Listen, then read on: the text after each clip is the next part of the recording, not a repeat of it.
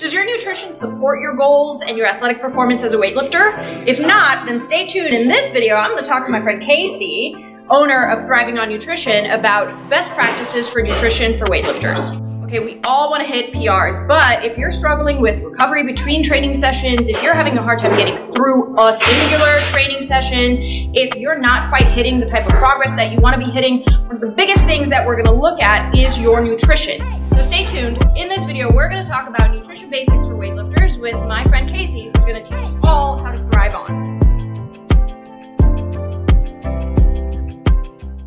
All right, so in this video, we're going to talk about macros, what they are, how much of them you should be eating, calorie basics, recommendations of what to eat to support your training, both before and after, a few tips for some plant-based eating for those of you out there, and a few considerations for meet day nutrition.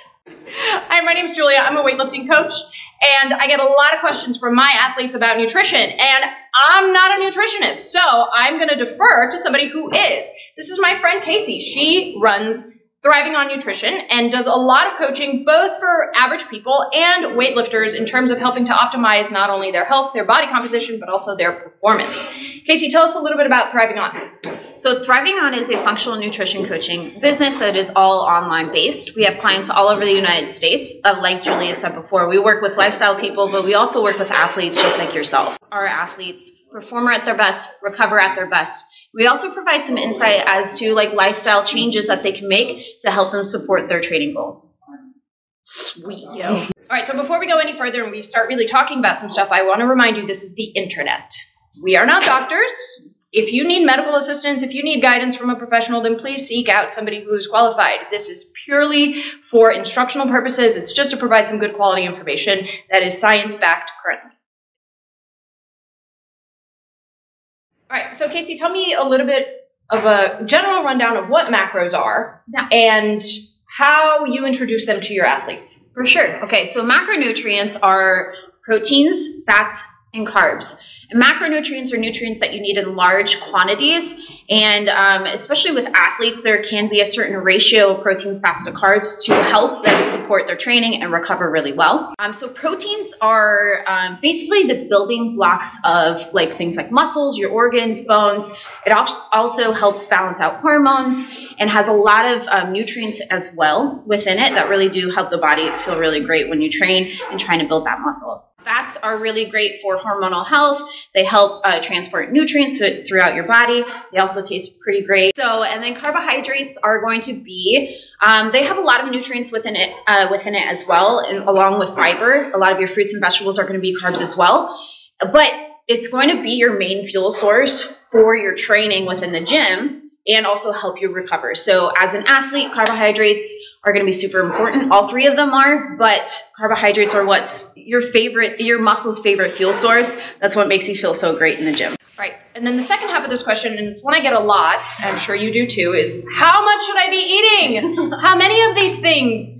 What should I put in my body? What I would say is, is it's entirely dependent on the person. Everybody's a pretty, pretty snowflake, and what, how much I eat will be completely different from Julia and, and, and any other person that you meet. It all depends on your activity level, um, your met metabolic health, how much muscle mass that you have on your body, how much you're moving, and how much you're training. I want to offer you guys a free guide to help you figure out how much your your uh, calorie intake needs to be in order to perform well. Here's the thing. Eating too much or too little are both extremely detrimental to your goals. So having a good idea as to how much you should be eating on a daily basis can be such a huge game changer in terms of actually seeing the results that you're looking for in and out of the gym. KC's included this really great PDF to help you figure out your maintenance calories, and I'm going to include that in the links down below. Definitely check it out. Uh, that way you can learn a little bit more about thriving on and figure out basics. How much should you eat? This is like step one, kids. Yes, definitely. Within Thriving On, we actually break it down into kind of like a pyramid of, of priorities. And the first step is always calories. Then it goes into macronutrients. Then it goes into food quality. Surprisingly, people think it's the other way around. It's actually broken down in the guide, and there's a live training video as well to help explain it all. So you guys can definitely check that out. It will help you figure that out for sure. All right, this is a question I also get a lot. So we figured out basics, right? We know what we should be eating. What are your guidelines of what to eat before and after training? just going back to what you said before, basics is always what matters, right? We want to ultimately make sure that we're hitting our nutrition goals at the end of the day. If you're not getting enough sleep, not drinking enough water, if you're not hitting like at least maintenance calories, then we can look into pre and post workout nutrition. And what I would suggest is definitely planning a lot of your carbohydrates uh, before and after your workouts. Okay, and we also want to make sure that we're um, keeping protein before and after your workouts as well, because protein, again, is really great for um, helping build muscle tissue and recover. So we want to definitely plan it around. What I say in terms of carbohydrates, because there's a lot of people out there that try to eat before they work out and they get an upset stomach. Mm-hmm. A lot of times it's because they pair it with a lot of fiber and fat which they're both really great for you. But when you're in the in the gym, it kind of makes your stomach upset and it slows down your body's ability to access carbohydrates. That's your muscle's preferred fuel source. So we want to make sure that your body can uh, access it like this. Mm-hmm. So that way you feel great from start to finish of your training session. Very similar to the pre-workout nutrition.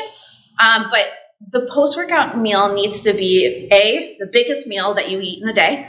That's where your body really needs to recover and needs all the nutrients and then the second thing is, is we also want to make sure that it's the most nutrient dense meal that you eat in the day as well. Because again, your body is really, really hungry for all those nutrients. It just yeah. put a ton of work in to the gym. It's ready to repair that muscle tissue so that way it can grow and you can get nice and strong. So we want to make sure that your body is getting what it needs to do so. Great. That's really uh, important information. I think highlighting the value of post workout nutrition, not only uh, in terms of your macros, but also in terms of those micronutrients, so that we're really taking advantage of that anabolic window post training. Yeah. So important. The other thing that a lot of people forget about is hydration. Hydration can affect your performance just as much as your food. If you're dehydrated during performance, uh, let's say you have a competition day, it can actually decrease your performance by up to like 30%. That's a huge difference, right? And so we want to make sure that we're drinking enough water every single day. A guideline is 90 to 120 fluid ounces a day, depending on the person, their size, and how active they are. Um, and then from there, I would add some electrolytes after your training to help you recover and stay hydrated. Like seriously, once my athletes start drinking enough water and they're super hydrated, they're like, "Where did all this energy come from?" It's amazing. The machine. Yes. And it's so simple to do. Yeah, so simple. I have an increasing number of athletes who are going plant based. Now, whether okay. they're vegan, vegetarians, whatnot, they're shying away from meat as a protein source. What options and advice do you have for athletes choosing that route? We actually do work with a lot of vegan or vegetarian. And so what I always do is make sure that I lay down the facts of like what does this decision cause your body, some things that you should pay attention to.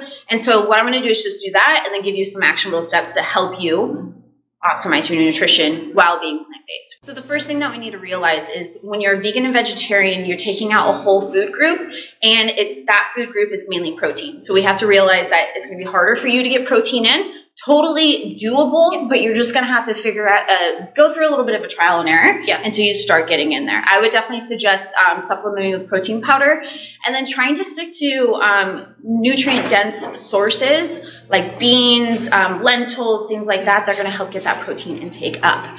The second thing that you're going to have to realize is that when you completely takes out a whole food group, just like keto or anything like mm-hmm. that, you're running the risk of becoming very deficient in certain nutrients. When you're going vegan and vegetarian, you might be deficient in things like calcium, B12, iron, um, potassium, a lot of these nutrients that are essential for the body. So, what I would do is just definitely be proactive, pay attention. I'm a huge fan of testing, not guessing. Don't just go take supplementations blindly because that could actually cause more harm than good. I would regularly get blood work done to make sure that you're filling in those gaps while sticking to the diet that you believe best fits you. Plant based protein is not as what's called bioavailable. So that's just a big fancy word of saying that your body, just because it's eating a certain amount of protein, doesn't mean that it's actually absorbing it and using it to help you build muscle right? And so um, plant-based protein is not as optimal as like let's say meat or dairy or fish or or eggs or anything like that. So I recommend my vegan and vegetarian um, athletes actually have a higher protein intake to increase their chances of getting adequate amount of protein in. Something else that you can consider is supplementing with BCAAs. And like I said before, definitely lean into protein powder. So that's definitely going to help you bridge the gap. Um, and then from there, uh, we also want to make sure that we're sticking to better quality. Sometimes we get into protein sources for plant-based eaters but when you look at the ingredient list it's just a mile long and it's no Mhm. different than let's say eating Processed, right? It's yeah, processed food. extremely processed Yeah. foods um, so we want to definitely make sure that we're also paying attention to the quality of the food that we're taking in What are the big takeaways in that, that I think applies to everybody, not just plant based eaters, that you mentioned that I think is so important to reiterate is test, don't guess, right? If uh, the blood work thing is really, really important, and a lot of times it's so easy in the fitness space to just like see an idea and run with it and not actually know if it's helping your body or harming your body. And that takes some accountability, it takes some ownership. That's actually one of our core principles within Thriving On is like our first step with any person that we work with. Like we always need to create awareness first. Right? We may think that we're doing something, we may feel like something's happening, but it doesn't actually mean that you are executing it. A lot of times we have a lot of clients coming in saying that they eat a lot of quality of food or they eat a lot of protein. They don't think it's going to be a problem. I'm like, okay, great. Do you mind if we just create a little bit of awareness? And when they do, they're like, it's a whole other story, right? A lot of times when you create objectivity, while by bringing in a little bit of numbers and bridging the gap between how you feel, because that's still important, Yeah. and what um, what the data says, you're able to make more educated decisions and hopefully get you to the results a little bit faster than if you just went off by feel.